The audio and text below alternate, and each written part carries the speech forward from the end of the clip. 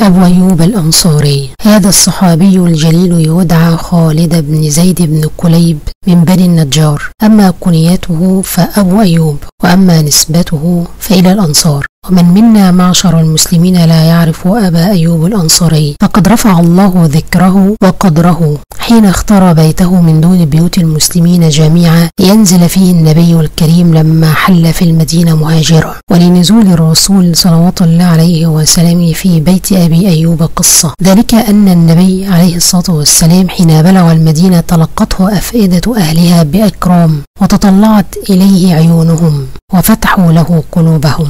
ولكن الرسول صلوات الله عليه وسلمه قضى في قباء من ضواحي المدينة أياما أربعة. بنى خلالها مسجده الذي هو أول مسجد أسس على التقوى. ثم خرج منها راكبا فوقف سادات يثرب في طريقها. كل يريد أن يظفر بشرف نزول رسول الله صلى الله عليه وسلم في بيته. وكانوا يعترضون الناقة ويقولون أقم عندنا يا رسول الله. فيقول لهم دعوها فإنها مأمورة. وتظل الناقة تمضي إلى غايتها فإذا جازت منزلا حزن أهله وأصابهم اليأس بينما يشرق الأمل في نفوس من يليهم. وما زالت الناقة على حالها هذه والناس يمضون في إثرها حتى بلغت ساحة خلاء أمام بيت أبي أيوب الأنصاري وبركت فيها. لكن الرسول عليه الصلاة والسلام لم ينزل عنها. فما لبثت أن وثبت وانطلقت تمشي والرسول صلى الله عليه وسلم مرخا لها زمامها. ثم ما لبثت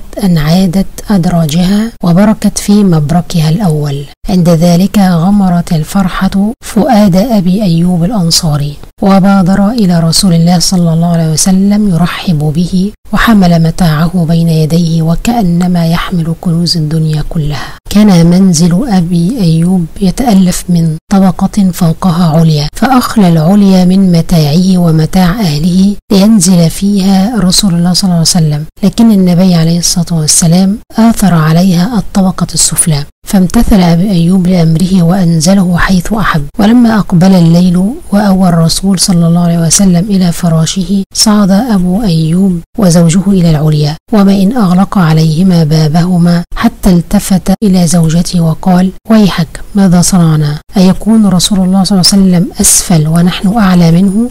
أنمشي فوق رسول الله؟ أنصير بين النبي والوحي؟ إن إذا لهلكون ولم تسكن نفوسهما إلا حين انحاز إلى جانب العليا الذي لا يقع فوق رسول الله صلى الله عليه وسلم والتزماه. فلما أصبح أبو أيوب قال للنبي عليه الصلاة والسلام والله ما أغمض لنا جفن في هذه الليلة. فقال عليه الصلاة والسلام ومما ذاك يا أبا أيوب؟ قال ذكرت أني على ظهر بيت أنت تحته وإني إذا تحركت تناثر عليك الغبار فأذاك ثم إني غدوت بينك وبين الوحي. قال له الرسول صلى الله عليه وسلم هون عليك يا أبا أيوب إنه أرفق بنا أن نكون في السفل لكثرة من يغشانا من الناس. قال أبو أيوب فامتثلت لأمر رسول الله صلى الله عليه وسلم إلا أن كانت ليلة باردة فانكسرت لنا جرة وأريق ماؤها في العليا فقمت إلى الماء أنا وأم أيوب وليس لدينا إلا قطيفة كنا نتخذها لحافة وجعلنا ننشف بها الماء خوفا من أن يصلوا إلى رسول الله صلى الله عليه وسلم. فلما كان الصباح غدوت على رسول الله صلى الله عليه وسلم وقلت بأبي أنت وأمي إني أكره أن أكون فوقك وأن تكون أسفل مني. ثم قصصت عليه خبر الجرة فاستجاب لي وصعد إلى العليا ونزلت أنا وأم أيوب إلى السفل أقام النبي عليه الصلاة والسلام في بيت أبي أيوب نحو من سبعة أشهر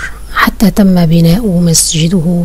في الأرض الخلاء التي بركت فيها الناقة. فانتقل إلى الحجرات التي أقيمت حول المسجد له ولأزواجه فغدا جارا لأبي أيوب أكرم بهما من متجاورين. أحب أبو أيوب رسول الله صلى الله عليه وسلم حبا ملك عليه قلبه ولبه وأحب الرسول الكريم صلى الله عليه وسلم أبا أيوب حبا أزال الكلفة فيما بينه وبينه وجعله ينظر إلى بيت أبي أيوب كأنه بيته. حدث ابن عباس قال خرج أبو بكر رضي الله عنه بالهجرة إلى المسجد فرآه عمر رضي الله عنه فقال يا أبا بكر ما أخرجك هذه الساعة؟ قال ما أخرجني إلا ما أجد من شدة الجوع. فقال عمر وأنا والله ما أخرجني غير ذلك. فبينما هما كذلك إذ خرج عليهما رسول الله صلى الله عليه وسلم فقال ما أخرجكما هذه الساعة؟ قال والله ما أخرجنا إلا ما نجده في بطوننا من شدة الجوع. قال عليه السلام وأنا والذي نفسي بيده ما أخرجني غير ذلك. قوموا معي. فانطلقوا فأتوا باب أبي أيوب بالأنصار رضي الله عنه وكان أبو أيوب يدخر لرسول الله صلى الله عليه وسلم كل يوم طعاما. فإذا أبطأ عنه ولم يأتي إليه في حينه أطعمه لأهله. فلما بلغوا الباب خرجت إليهم أم أيوب وقالت مرحبا بنبي الله وبمن معه. فقال لها النبي عليه الصلاة والسلام أين أبو أيوب؟ فسمع أبو أيوب صوت النبي عليه الصلاة والسلام وكان يعمل في نخل قريب له. فأقبل يشرع وهو يقول مرحبا برسول الله وبمن معه. ثم أتبع قائلا يا نبي الله ليس هذا بالوقت الذي كنت تجيء فيه. فقال عليه الصلاة والسلام صدقت. ثم انطلق أبو أيوب إلى نخله فقطع منه غصنا فيه تمر ورطب. فأخذ أبو أيوب جديا فذبحه ثم قال لامرأته أعجني واخبزي لنا وأنت أعلم بالخبز. ثم أخذ نصف الجدي فطبخه وعمد إلى نصفه الثاني فشواه فلما نضج الطعام ووضع بين يدي النبي صلى الله عليه وسلم وصاحبيه أخذ الرسول قطعة من الجدي ووضعها في رغيف وقال يا أبا أيوب بادر بهذه القطعة إلى فاطمة. فإنها لم تصب مثل هذا منذ أيام. فلما أكلوا وشبعوا قال النبي صلى الله عليه وسلم خبز ولحم وتمر ورطب ودمعت عينه ثم قال والذي نفسي بيده. إن هذا هو النعيم الذي تسألون عنه يوم القيامة. فإذا أصبتم مثل هذا وضربتم بأيديكم فيه فقولوا بسم الله. فإذا شبعتم فقولوا الحمد لله الذي هو أشبعنا وأنعم علينا فأفضل. ثم نهض الرسول صلى الله عليه وسلم وقال لأبي أيوب ائتنا غدا. فقال أبو أيوب سمعا وطاعا لرسول الله. فلما كان الغد ذهب أبي أيوب إلى النبي عليه الصلاة والسلام فأعطاه وليدة كانت تخدمه وهي جارية صغيرة. وقال له استوصي بها خيرا يا أبا أيوب فإنا لم نرى منها إلا خيرا. عاد أبو أيوب إلى بيته ومعه الوليدة فلما رأتها أم أيوب قالت لمن هذه يا أبا أيوب؟ منحنا إياها رسول الله صلى الله عليه وسلم. فقالت أعظم به من مانح وأكرم بها من منحة فقال وقد أوصانا بها خيرا. فقالت وكيف نصنع بها حتى ننفذ وصية رسول الله صلى الله عليه وسلم؟ فقال والله لا أجد لوصية رسول الله بها خيرا من أن أعتقها فقالت هديت إلى الصواب فأنت موفق. ثم اعتقها هذه بعض صور حياة أبي أيوب الأنصاري في سلمه. فلو أتيح لك أن تقف على بعض صور حياته في حربه لرأيت عجبا. فقد عاش أبو أيوب رضي الله عنه طول حياته غازيا. حتى قيل إنه لم يتخلف عن غزوة غزاها المسلمون منذ عهد الرسول صلى الله عليه وسلم إلى زمن معاوية. إلا كان منشغلا عنها بأخرى. وكانت آخر غزواته حين جهز معاوية جيشا بقيادة ابنه يزيد لفتح القسطنطينية. وكان أبو أيوب إن ذاك شيخا طاعنا في السن يحبو نحو الثمانين من عمره فلم يمنعه ذلك من أن ينضوي تحت لواء يزيد وأن يغزو في سبيل الله. لكنه لم يمضي غير قليل على منازلة العدو حتى مرض أبو أيوب مرضا أقعده عن مواصلة القتال. فجاء يزيد ليعوده وسأله ألك من حاجة يا أبا أيوب؟ فقال اقرأ عني السلام على جنود المسلمين. وقل لهم يوصيكم أبو أيوب أن توغلوا في أرض العدو إلى أبعد غاية وأن تحملوه معكم وأن تدفنوه تحت أقدامكم عند أسوار القسطنطينية ولفظ أنفاسه الطاهرة. استجاب جند المسلمين لرغبة صاحب رسول الله صلى الله عليه وسلم وقروا على جند العدو القرة بعد القرة حتى بلغوا أسوار القسطنطينية وهم يحملون أبا أيوب معهم وهناك حفروا له قبرا وروه فيه. رحم الله أبو أيوب الأنصاري فقد أبى إلا أن يموت على ظهور الجياد الصافنات غازيا في سبيل الله وسنه تقارب الثمانين. العبرة. قصة أبو أيوب الأنصاري. قصة واحد ربنا سبحانه وتعالى اختاره إنه يكون جار للنبي عليه الصلاة والسلام. وواضح من القصة إن أبو أيوب الأنصاري كان رجل كريم ورجل موفق. والله سبحانه وتعالى إذا اختار حد من عباده يستخدمه في خير فهو لازم يكون رأى فيه خيرا من الأول. يعني البداية بتبقى من عند العبد مش البداية من عند الرب. يعني هو ما كانش واحد كده عادي وربنا اختاره لا هو كان حد الأول غير عادي وربنا اختاره. يعني البداية من عند العبد الأول يكون مجتهد يكون صبور يكون كريم. يكون آه موفق في كل شيء في حياته وإن كان زوج فيكون زوج صالح وإن كانت أم فبتكون أم صالحة وإن كان بيشتغل فبيكون محسن في شغله. آه دي البداية بداية من عندنا إحنا الأول. ثم ربنا سبحانه وتعالى بعد كده يختارك إنك أنت يكون لك دور في حاجة يكون لك دور في في تحرير القدس يكون لك دور في نشر الدين يكون لك دور إنك تربي طفل يبقى يكبر بعد كده ويكون له شأن. يعني أنت الأول ابتدي بنفسك الأول. بلاش الكسل بلاش وأنا مالي بلاش حاضر هعمل بعدين. يعني إيه خليكي ذو همة. أول ما أم أيوب اتقال لها يلا نطبخ ونأكل النبي صلى الله عليه وسلم وأصحابه. على طول قامت. على طول في سعي. على طول في بذل بيشاورها زوجها وبتشاوره وفي تفاهم ما بينهم. التفاهم ده مش بيبتدي من عند الرجال على فكرة يعني التفاهم اللي ما بينهم بيبتدي من عند الست الأول. الست بتحترم زوجها بتقدره بتشكر فيه تقول له أنت موفق مش ضد مش بتنقره فالست الواعية هي اللي بتبقى فاهمة طبيعة زوجها وبتمشي عليها. وطبعا ربنا خلق الناس ذكر وأنثى. فالأنثى بيبقى ليها دور والذكر ليه دور تاني. فدور الأنثى هنا معانا هي إنها طيعة. وده اللي أنا عايزاه مننا كلنا إن إحنا نبقى طيعين في في يد ازواجنا نكون في سلاسة في التعامل. مش كل حاجة نقار مش كل حاجة خلاف يعني.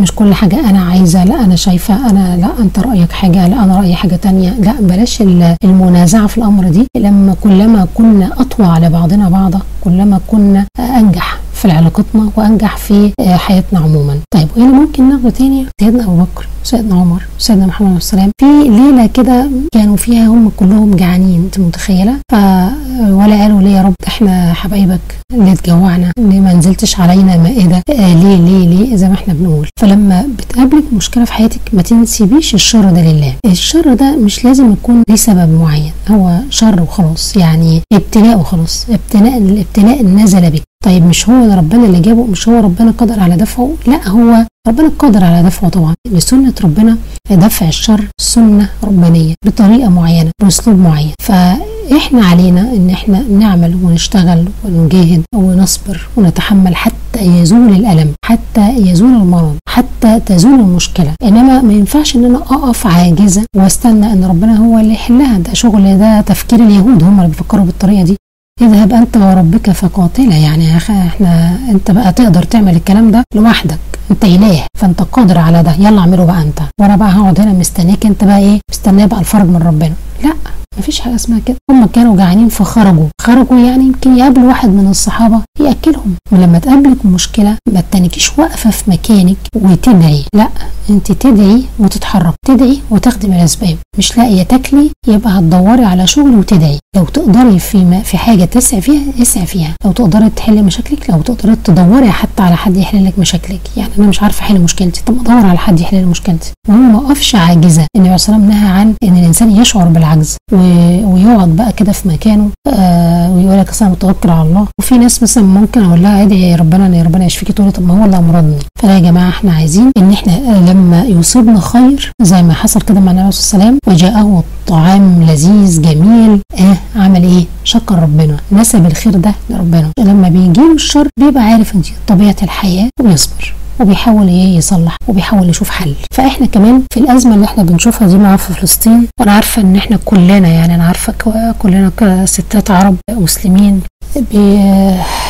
نشعر بعجز فظيع تجاه اللي بيحصل في فلسطين. ويعني بنتألم عشانهم ألم غير عادي لأن إحنا حتى ملناش حيلة في أي حاجة وبنبقى نفسنا نعمل حاجة بس مش قادرين. فشعورنا بالعجز ده نحاول إن إحنا نعمل حاجة في المحيط اللي إحنا فيه حتى. يعني نعملي اعملي خير اعملي خير عشان يترد لهم هم هناك. اعملي خير وادعي بعدين ربنا يفرجها عليهم وينصرهم ويقويهم. ربنا سبحانه وتعالى لن يخذلهم. هم بذلوا مجهود جامد جدا وخدوا بالأسباب كلها. عدوهم بيحارب بتكنولوجيا عالية وهم كمان بيحاربوا بتكنولوجيا عالية. تسلحوا وخدوا بالأسباب الكامله وصبروا على بيوتهم اللي بتتهد. يعني عندهم نعمه غير عادية. طيب إحنا واقفين آه، صامتين وعمالين بس بنادي على الايه على على اللي مش قادر ينصرهم. لا هو سبحان الله سبحانه وتعالى هو خير ناصر فمش عايزين نستنى من حد إن هو ينصرهم. الله سبحانه وتعالى قادر على إنه ينهي المعركة دي. في الحال. ولكن الله سبحانه وتعالى بينظر ماذا نفعل. في كل واحد في مكانه ينظر ماذا يفعل. في كل واحد ليه سلطة معينة. إحنا عايزين ربنا سبحانه وتعالى لما ينظر لنا كنساء نحسن آه، نتقن عملنا. عايزين نتقن عملنا يا جماعة. عايزين نحسن في اللي بنعمله. أي حاجة صغيرة ولا كبيرة بتعمليها احسني فيها واتقني فيها. عشان ما حدش عارف ربنا سبحانه وتعالى يمكن يرى منك خيرا فيستخدمك ويعلي قدرك ويعلي منزلك. كل واحد فينا اللي يقدر حاجة يعملها يعملها. وجزاكم الله خير